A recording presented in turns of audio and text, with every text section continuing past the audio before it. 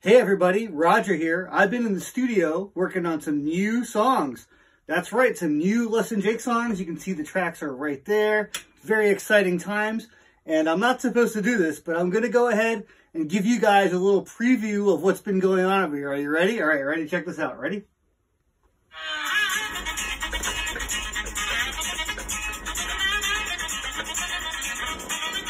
So hey gang, I'm down here in my home studio slash memorabilia room. Some uh, less than Jake seven inches. Got some uh, coffee up here, some hats. One thing that was really cool about 1995 or so, we released a song that predated the Losing Streak record. Uh, the version on there it was a different version called Rock and Roll Pizzeria, and we made a record out of it that was packaged in a pizza box. I will show you what is in this box. Came with a menu that had all of our newest releases that you could mail order from us. Came with, of course, the record down in here. A nice little napkin with our address printed on it so you could write us. And a refrigerator magnet.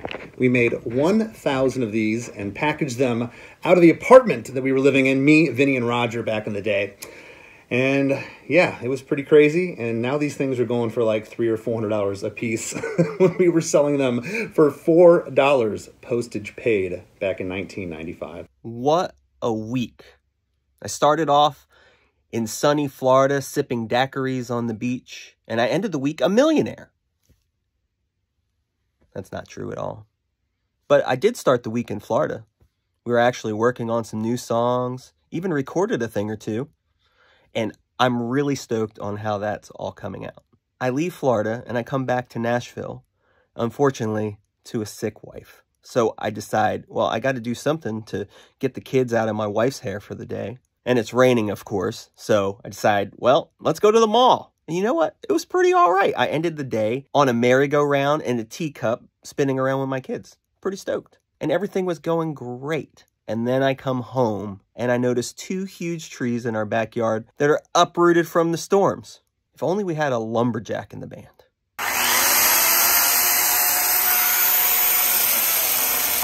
Ah! Ah!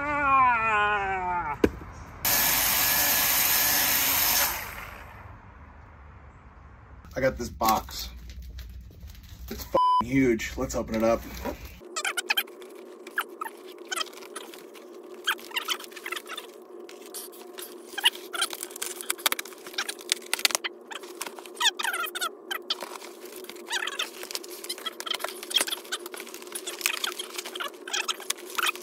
It's almost not worth it.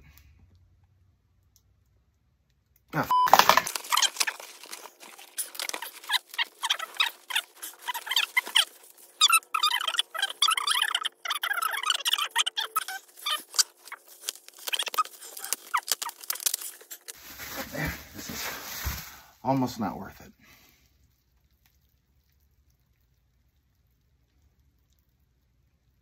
Ah, we've come this far.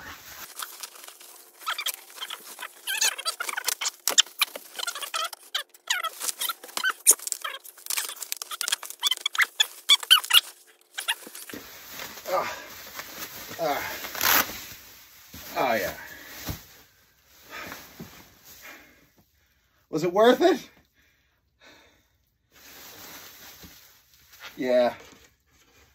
It's fucking worth it. How's that? Killed it, right?